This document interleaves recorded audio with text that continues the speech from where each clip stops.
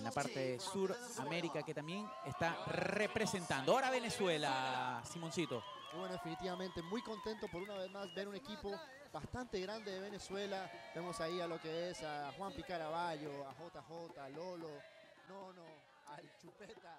que es- bueno, eh, muchos de estos atletas viven en Centroamérica o alrededor y bueno, se reunieron para esta vez venir a un mundial de la por de la sus ISA. propios medios, dando la cara por un país y sobre todo dejándolo todo, lo van a dejar. Ayer tuve la oportunidad de conversar con Lolo, con Francisco Bellorín, y se siente bastante emocionado con la noticia de que el surf está a cuatro años de presentarse en las Olimpiadas y quizás él tener la oportunidad de representar a su país.